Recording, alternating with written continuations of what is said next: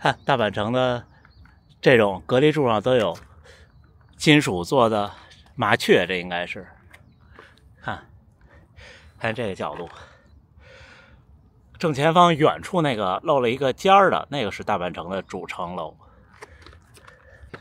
嘿，大家伙早喽！四月五号星期五，又恢复了跑步。前两天一直在尽量避免避免跑步，穿上了，看能看清能看全吧？大阪马拉松，这个是参赛包里的，就是参赛服。今天带大家看看大阪城的樱花已经开了，往前看啊，看远处这一条路，我们去。拍拍这条樱花的路。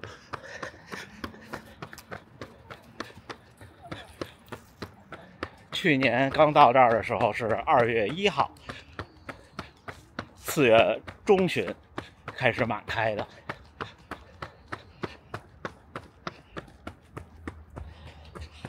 周三的核电那时候在福冈就没有参加。那天他们跑五个一公里。咱们看会儿樱花，看会儿樱花，再跟大家聊。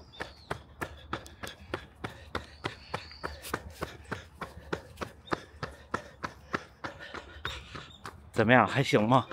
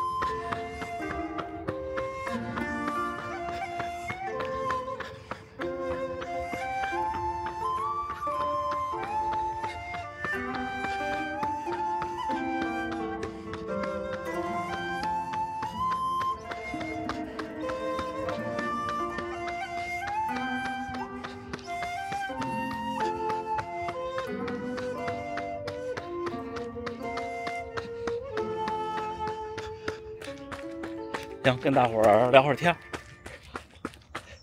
今天跟大家汇报汇报这几天的治疗和伤势。那天我发了个动态，可能有的小伙伴是不看动态的，因为像我其实就不看，因为我都是拿电视去看 B 站和其他的视频平台。发了个动态去去一家医院扎针，这边也也叫针灸。但是我看有小伙伴评论说跟国内的方式不一样，这边说这边针扎的多是吧？但是后来我决定不扎了，因为呢，就这东西我觉得，呃，它不一定适用于我这个症状。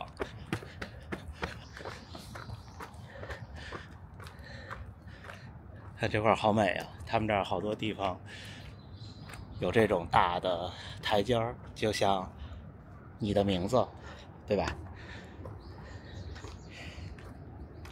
我们慢慢走下去吧。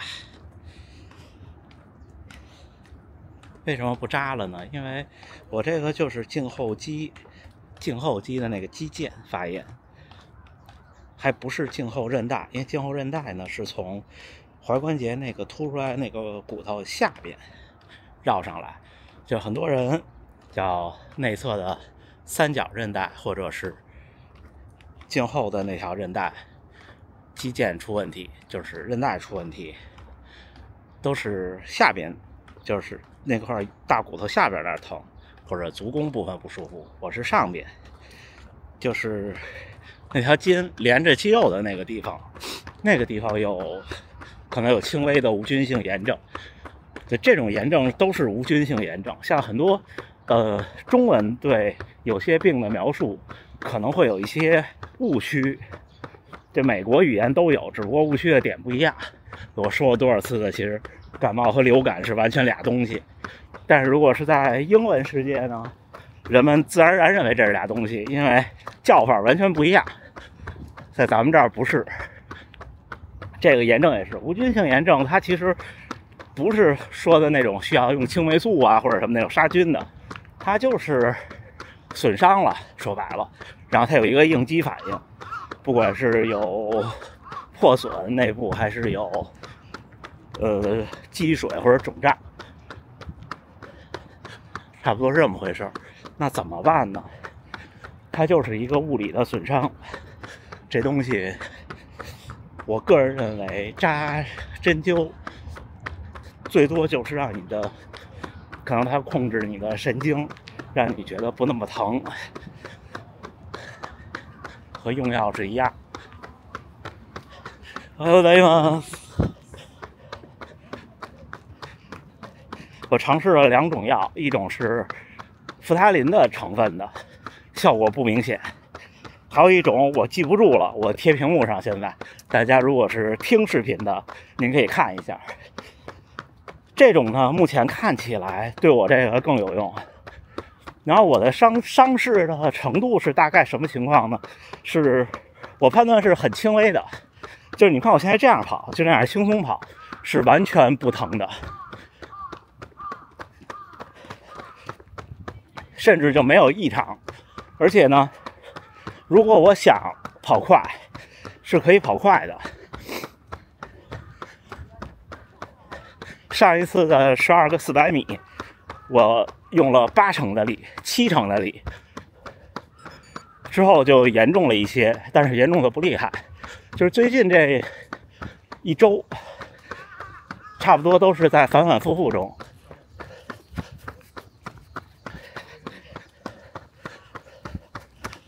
再过来一上，还有那个樱井先生，就是他没有实现我之前说的那种，比方说今天恢复到了八成，然后我练练完以后变成七，然后第二天恢复到八成五，练完以后到七成五，没有，都是在原地踏步，这样我觉得不行，所以才决定努力的康复，努力的治疗。扎针那个反正那天扎的时候挺感挺挺刺激的。他第一针扎进去的时候，整个从大脚趾头尖儿到小腿就不自觉的收缩了一下。但是全扎完以后呢，就一直是有感觉有东西在里边刺激着，大概持续了一刻钟，然后就给拔了。但是拔了以后那块肉有点疼，疼了一两个小时，到吃完晚饭才慢慢缓解。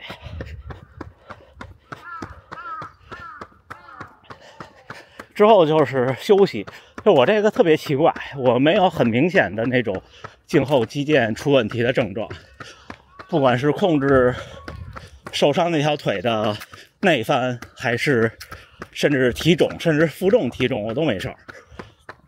我分析这个伤是这样，呃，前天早晨在福冈晨跑了三公里，大前天下午傍晚扎的针。三公里轻松跑到八百米的时候，哎，我突然感觉受伤的那块那个筋膜，呃，刺痛了一下，就好像拉开了一下。虽然是疼了一下，但是呢，我觉得这个呢是好的信号。为什么呢？就是大家受伤以后，其实最难过的并不是当时的刺痛，至于我就是啊，最难过的是这块感觉跟别的地儿不一样了，比方说发紧，或者。呃，感觉不明显。这种状态、这种情况一般在哪发生呢？您好，您好，这位您是？呃，国内来的。哦，观众。哦，您好，您好，您好。抱歉，我都忘了这个事儿了。这两天没有，我本来说有伤病，但是我要直接就要回家了。您您介意入境吗？没事没事。您怎么称呼贵姓？任。任先生。从哪儿来？呃，我是。定居在重庆的宜兴人，江苏人。这定居在重庆的江苏人，对。然后和我太太从重庆过来。从重庆过来。对。哪天来的？上电视了。嗯，二号到京都。二号，大家打个招呼。好嘞。是没有上电视，上我这个小视频。哎，刚刚。二号来的，今天是五号，三天了。对。刚来大阪。啊，二号到京都。昨天晚上到大阪。昨天晚上到大阪。对。因为我受伤了，我不跑太多。哦，我也是。住在哪儿？啊，就旁边，太坂城旁边。太坂城那边吗？啊，那什么四四清路还是？啊，古地四啊，那是那边。对。您还要跑多少？哦，我随意。因为。我也是前几天发烧。发烧啊？我上飞机前一天还发烧，我还担心上不了。再再再还有在吗？哦，那是什么什么原因呢？感冒吗？我我估计是跑多了。跑多了。我我去年。年底是三百多，每个月一月开始就四百三以上。其他的上还有在吗？然后三月就四百六，三月就四百六。我我估计是什么时候开始跑步的？这个说来话长，真正规律训练是看了您视频之后。啊，您什么时候开始看？大概大概一年多一年多。啊，那四百也不不不多不少吧？当时我多大年多大岁多大年纪？三十二，呃，年轻。快三十二，哈哈！但我之前有有有有有那个基础，有基础，什么基础？就运动基础，各种，各种，那没问题。那要么我们直接回去，啊，我都行，咱俩顺路，我随意。五听四丁目，对吧？对对。行，那我们聊会儿天，一会儿咱再说。那刚才咱们频道那位观众分开了，我回家。现在跑了八公里，开始略微有一点点感觉了。刚才没说完，受伤这事儿是这样，就是其实最不舒服的状态是什么呢？就是像我前两天那种，呃，疼痛不是那么的明显，但是呢会有不适感。然后呢，像这儿的这个伤呢，如果你的膝盖向前屈，然后只有抬脚尖儿，就都是冲正正前方啊，然后你会觉得足跟、脚踝内侧。就那个大骨头边儿上那儿会有紧张感，这种感觉是最可最我觉得最可怕的。为什么呢？因为这种感觉你不知道它什么时候会好，你也不知道它怎么好。它不像说我们拉了一口子，看它慢慢往上长呗，对吧？而是说呢，你感觉内在哪有哪儿疼，这个挺麻烦的。但是前天早上起来，轻微的那么一撕，哎，我感觉要好了。我不知道能不能表达清楚我的感受。但是呢，这次受伤，我按摩这个地方，我发现了一些问题，小伙伴们可以警示。我去年冬训加跑量的时候，跟大家说聊过，就是这个地方胫骨内侧会疼痛。那时候其实没有往心里去，也没有找到疼痛的点，不像这次。这次我仔细一看呢，发现就是那个地方是有按压痛的。我我估计前几次也是这个病，只不过轻就是程度轻，或者是它是第一次或者第二次发作。后来很快就不疼了，当时不疼了就接着练。但是当时不疼，我的分析是，就它是愈合了，但是愈合的不好，造成了淤痕，就内部破了破损再长好，它也是会有疤痕的。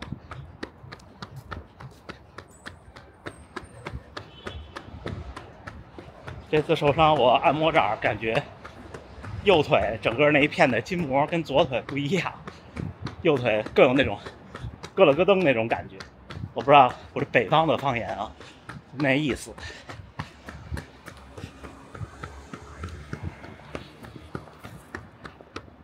所以，如果您要是去咨询医生说这种病如果严重了怎么治，有的医生会说会有这种去剥离那个。淤痕组织的手段，但是我这没到那程度，或者说，其实大部分人的伤都没有您真正想象的重。人都是一受伤，觉得呀天塌下来了，我也是，人之常情，在所难免。那保留那么一分理智去分析它。就咱们这个训练强度，这个训练内容能受的伤，跟运动员比，那差得远的远，人家都能好，都能参赛，对吧？但只不过是个时间问题。去病如抽丝嘛，对不对？我已经做好了心理准备。我觉得，为什么这次严重了呢？是因为四月一号开始，我想进入新的一个月。上个月只跑了三百八十多公里，这个月我想尽量不受伤的影响，但是没做到。我这一次反复都是因为。连续跑两个二十一造成的，就是两天，所以我的总结是我可以跑，但是呢，要把跑量降下来一些，直到它慢慢好起来，就是它每天损坏的程度不能比恢复的多就行了，自己摸索，这也叫什么呢？在边界不停的试探，就跟揪倒刺儿似的，是不是？我老师有好多特奇妙的比喻。行，马上九公里，九公里咱们就结束，我也快到家了。那咱一会儿再聊啊。嘿，四月五号星期五清晨六点五十四晨跑结束，今天跑十公里。刚才跑到这儿一看，九公里再绕一公里吧，因为今天出门之前的计划是十公里。跑到七公里的时候，略微有一点点感觉，然后调整了一下，就又好起来。为什么会有感觉呢？就这个伤。在制动的时候会更会会更疼，就是下坡的时候，上坡其实是没问题的。就是像我刚才说的那个姿势，扶一下啊，就是你向前这样抬腿，然后往上勾脚尖的时候，在前两天严重的时候，呃，这个地方，这个地方向前勾脚尖的时候，这个地方会发紧，这是那个骨头尖儿。然后那条韧带呢，是从底下从这儿这样过来，然后我的疼痛的位置主要是这儿，就是韧带和就肌腱，就是肌肉和韧带还有骨头附着关节附着的地方。他今天穿了条新裤子，看，呃，菲比特的，侧面带兜了，侧面一个兜，这边一个兜。我试了试，我这相机是可以放进去的。而且放进去以后，跑步也没有影响。唯唯一就是感觉长时间放这种东西会把兜撑大。嗯，这个是菲比特送的，不不是买的，我也不知道多少钱，但是穿起来还行。他们家的压缩裤呢，和其他家的，我穿过几家的，我给大家聊聊。呃，Skins、Nike、呃，轻工、菲比特，还有啊，还有那个呃二 XU，对吧？呃，这几款，菲比特和那个二 XU 是压缩感比较强的，就觉得劲儿特大。同样的号码下，然后呃，Nike 和 Skins 是压缩感最轻的。当然，Skins 后来也出过那种特厚的，我没穿过，就是它那种最最早那种款，更像半弹的那种感觉。如果是比赛，我建议穿更就是压缩感更轻的。如果是训练呢，就无所谓。就菲菲比特这种的好处是，它压缩感更重呢，会就效果会更会会更明显。然后像 Nike 那种呢，你就当一个贴身的衣服穿，哎，不一样我今天跟大家有的没的扯两句伤，我也是理智和就是理智和焦虑，理性和感性之间在摆动。就是一受伤呀，天塌下来了。然后呢，一想，一一分析呢，好像也也不过如此，所以就就慢慢恢复吧。现在就是在抹药，然后在每天热水泡泡脚，尽量。走路没事儿，尽量的少跑两步，然后做做室内的训练就好了，行吧？刚才那位姓任任先生，呃，来这边旅行，现在是好季节，现在这边这个周末很多地方樱花都是满开的，只不过就是人会特别特别多。我从福冈回来，还在广岛停留了多半天，去看了看各种的历史，呃，挺震撼的，挺震撼的，反正。这几天也是天灾。我昨天路过一家拉面店门口，正好有两位游客，情侣应该是或者是夫妻吧，很年轻，在等着开门吃饭，在手机上在查，两人在说：“哎呀，哪儿哪儿是是台湾的一个地名，呃，真的好很严重。”我听讲话的口音，应该是那边的人来旅行的，嗯。感觉心里应该是很慌的吧？家里发生那么大的事情，反正不管是哪儿，不管是天灾还是各种的意外，还是什么，都愿所有人一切都好吧。最后还是祝大家能努力生活，健康平安。我们一起加油，迎接马上的夏训了，好吗？那这么着，咱们明儿见，加油干！